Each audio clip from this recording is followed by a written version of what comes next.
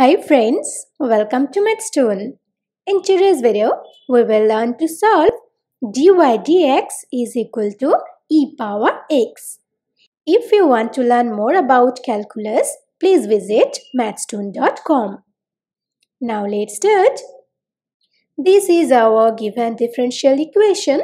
Rewriting this, we get dy is equal to e power x dx. Now integrating this, we get integration dy is equal to integration e power x dx. As we know that integration dy is equal to y and integration e power x is equal to e power x.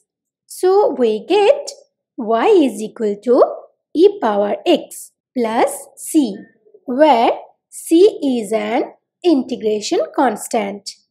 So this is our final answer. Thank you for watching.